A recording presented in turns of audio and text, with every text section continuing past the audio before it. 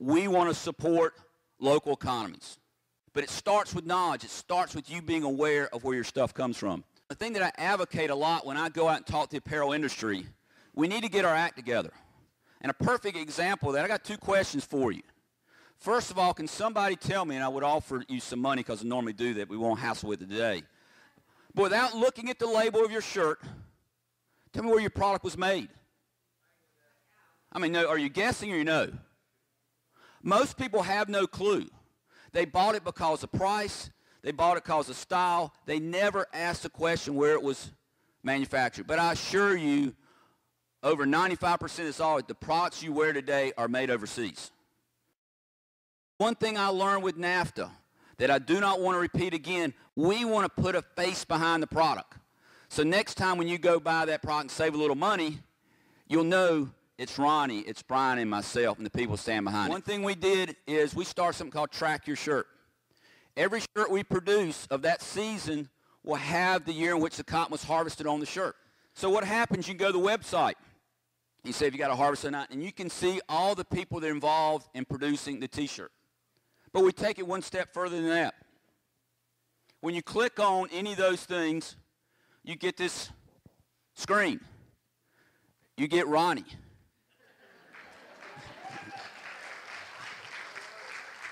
Not, not only do we give you Ronnie's picture, we give Ronnie's email, we give Ronnie's phone number, we give Ronnie's address. One thing I told these guys when we put this program together is Step one is complete transparency. For you to be involved with this program, there are no secrets. Mortex uh, was started by my father in 1984. We had no financing. He, he, I was a, a senior in high school, and he said he wanted to start an apparel line um, or an apparel manufacturing company, uh, and uh, needed my college fund to do it. so. You know, when you're when when you're a senior in high school, who cares, right? So let me talk a little bit about Cotton of the Carolinas because that's why I'm here. Um, his vision was something that I was told could never happen as a textile person. You can't take cotton out of one field, gin it, spin it, and make a T-shirt out of it. You know, you, you, they don't teach you that in textile school. I'm not a textile school grad, but but I've that's it's what I know.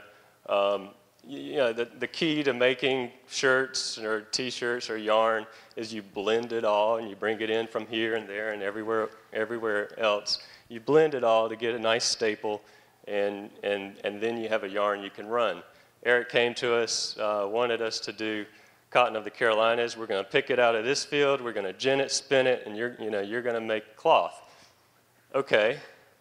Um, you know, it's, it's reckless optimism, really.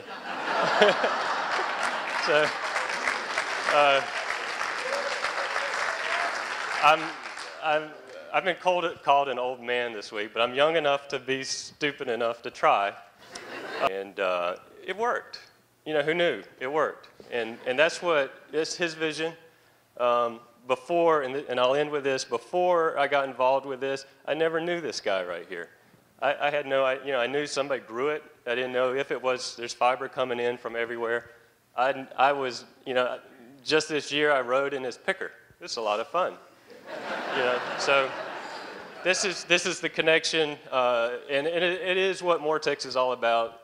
Uh, you know, my customers can call me any anytime, any day, uh, day or night, and know that I'm in it with them, uh, and I care, and together we can build a business.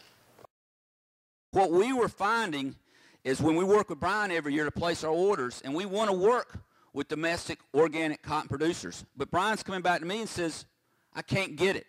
I can't find it. It's not available. So we're going to places like Pakistan and India to get our organic cotton. And we ship it all, that yarn all the way to his facility in Wendell, North Carolina to produce our T-shirts. We said there's something wrong with this picture here. North Carolina, my state, the fourth largest grower of cotton in the U.S. What do we do with that cotton? Ronnie grows it, West gins it, we put it on ship in Wilmington or Norfolk. It's over to Honduras, it's over to Asia, it's over to Africa, to make our t-shirts, to make our socks, then we put on ship and ship it all the way back to us. What does that mean? Try 17,000 miles on your t-shirt. We heard about food miles. 17,000 miles is what a t-shirt can travel before you even get it.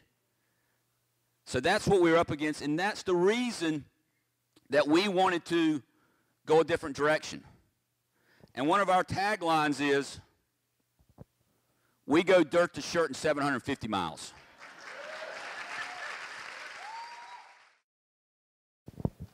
I am passionate about what I do. I farm. I grew up on a farm. I, I'm attached to the land. Uh, I, I'm sure if anyone in the audience is, is somewhat like myself, uh, you know what I'm talking about. I always call my dad a progressive farmer. He always was looking at new things, new try this, we'll try that. He always included me in those decisions when I got old enough to do that. Unlike you, Brian, he didn't take my college fund. we didn't have one. we feel like we're the, the ultimate environmentalist. We always have been. We always try to take care of our own facilities and pass it on to the next generation. Transparency is one thing. I welcome you to come to the farm anytime. We, I can talk farming as long as you'll listen. So Ronnie grows a heck of a lot of cotton there, but any of our customers can drive up to his house on a Sunday morning, knock on his door, and Ronnie's going to know how they got there. And that's the model we want to change because that's one thing we've lost in business today. It's behind that door over there and just don't ask any question, but we'll take good care of you. This is our complete supply chain from Ronnie to TS Designs. And as I said earlier, it is the only apparel line that I'm aware of that is completely transparent from the consumer all the way back to the farmer. Because we do a lot of things that are not perfect. But I feel the best way to do that is gain the trust. The best way to gain trust is put it all out there. Thank y'all so much for your time, your interest. Thank you so much for BALLE for what you do and making this possible.